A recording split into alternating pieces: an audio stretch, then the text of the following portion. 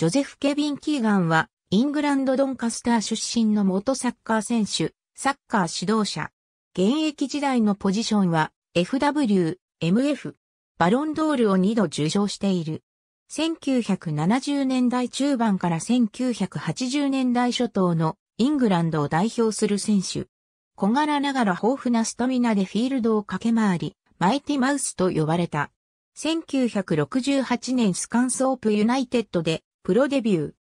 3シーズンを過ごした後、1971年にリバプールへ移籍、1972から73シーズン、UEFA カップ決勝、ボルシア・メンヒエングラートバッハ戦のファーストレグでは2ゴールを決め、同大会の優勝に大きく寄与した。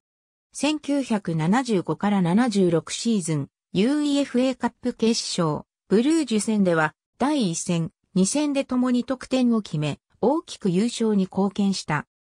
1976から77シーズン、チャンピオンズカップ決勝で、アラン・シモン戦要するボルシア・メンヒエングラートバッハを3から1で破り、リバプールにクラブ初のチャンピオンズカップ優勝をもたらすなど、数多くのタイトル獲得に貢献し、リバプールサポーターのアイドル的存在であり、リバプールでは323試合100ゴールの成績を残した。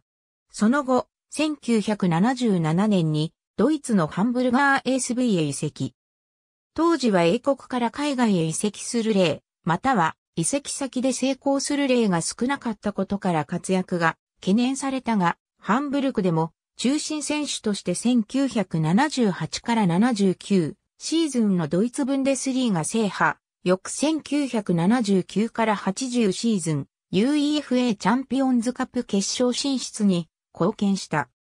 1980年よりイングランドに復帰、サウサンプトンでプレー、1982年には26ゴールを決める活躍でピエフェ年間最優秀選手賞を受賞。その当時2部のニューカッスルに移籍、1984年に引退した。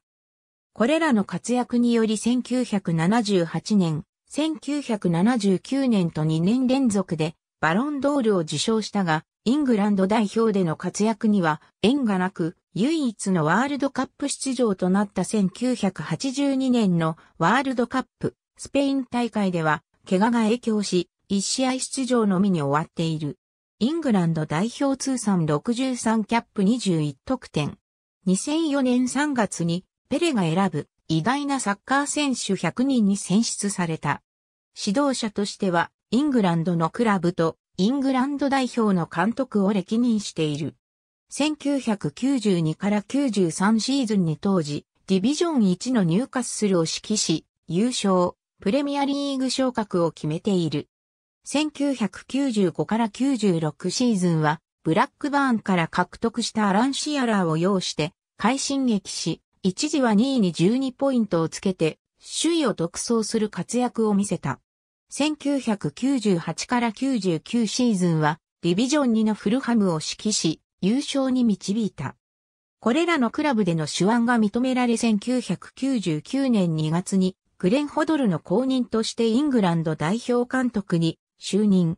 翌年のユーロ2000出場に導き、本大会でも指揮を取ったが、一勝二敗で一時、リーグ敗退に終わる。そして10月7日にウェンブリースタジアム最後の試合として行われたドイツとの FIFA ワールドカップ予選に敗れ辞任をした。2001から02シーズンには再びクラブチームを指揮するようになり、ディビジョン1にいたマンチェスターシティを優勝に導き、プレミアリーグへ昇格させた。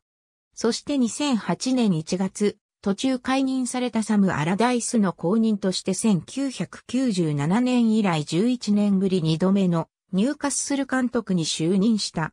しかし、オーナーであったマイク・アシュリーと対立し、わずか8ヶ月で辞任することとなった。チーム個人チーム個人。ありがとうございます。